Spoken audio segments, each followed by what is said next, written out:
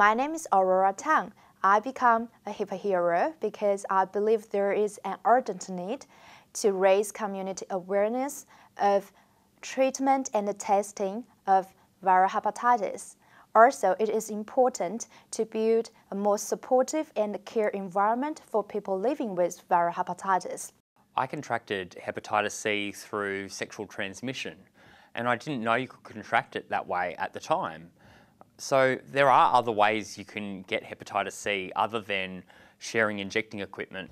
I think there's a lot of misunderstanding about hepatitis and especially hepatitis C. Uh, I think that unfortunately the community seems to associate hepatitis C with some sort of, you know, drug abuse. Well, frankly, that's not always the case. In fact, many people have contracted hepatitis C through, let's face it, blood transfusions, maybe some a tattoo in another country, or sometimes they just don't know. And I think we've got to be really careful that we don't get fixated on trying to work out why someone has it. It doesn't matter. That it, the, the virus doesn't discriminate in my personal journey, it was the sense of a lot of fear around treatment. Uh, there was a lot of trauma, if you want to say that word, within my own personal life regarding treatment. How would people look at me? And being such a small community, I was worried that no one would come near me or no one would talk to me, that they would look at me differently. I have a tattoo on my arm that says coexist. I got this tattoo because I want to live in a society that coexists without judgment and without stigma. My name is Brent Allan. I've been working in the community response to HIV for about the last 25 years.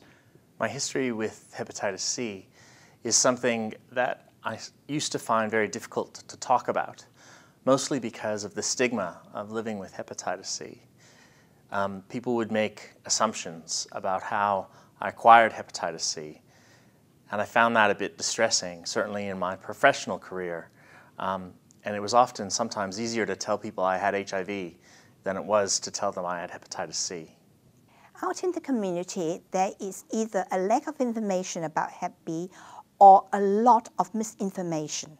This has a great and negative impact on many people, especially those from migrant and non-English speaking backgrounds. G'day, it's Paulie Stewart here from the Painters and Dockers and the Dili All Stars and the Transplants. I saw a doctor in the 80s who said to me that if I didn't um, you know, get regular li liver tests, that it was all going to catch up with me, my hepatitis, and I didn't do that, and in fact, it uh, it did catch up with me, and uh, I spent 18 months in the Austin Hospital waiting for a liver transplant. So I learnt the, uh, the hard way. I should have got it tested earlier in the piece. So I'm advising you out there, get tested if you can. You do not need to feel ashamed and it is no longer a stigma.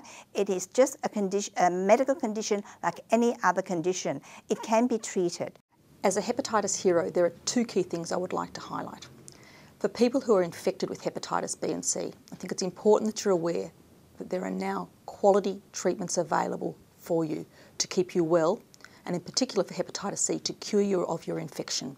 Over the next five years, there will be marked changes in how we can manage hepatitis C, and it's important that you begin to get care and assessed right now.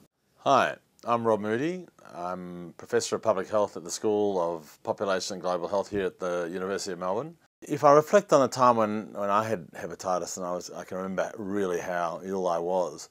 Um, I can remember how fortunate uh, I guess I was to, to get really good treatment and really good care. And I'm really interested in the fact that everybody should be able to get really good care and really good treatment with hepatitis, no matter what alphabet they have of, of hepatitis, just making sure that um, that's a fundamental human right. For people in the community who are not infected with hepatitis, it's really important that you recognise that your attitudes towards hepatitis impact on people with these infections there is stigma associated with having hepatitis B and C, and this means people do not take appropriate care and follow up of their disease. It's important that you take action, that you make sure that you're not a person that causes somebody with these illnesses not to seek medical care. We all have a responsibility to reduce the stigma associated with these infections from now.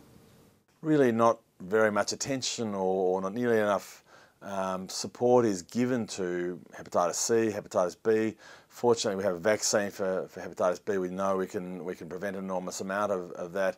Um, with hepatitis C, for example, then uh, still a high association with stigma. Um, it isn't, I don't think, taken nearly as seriously as it, as it should be uh, by us as a, as a community and as a nation. And that's why I applaud the work of Hepatitis Victoria. So I encourage everyone to sign up and become a HEP hero, support people in your worlds, in your life, in your communities, in your backyards. Become a HEP hero and make the future that we all want to be in together.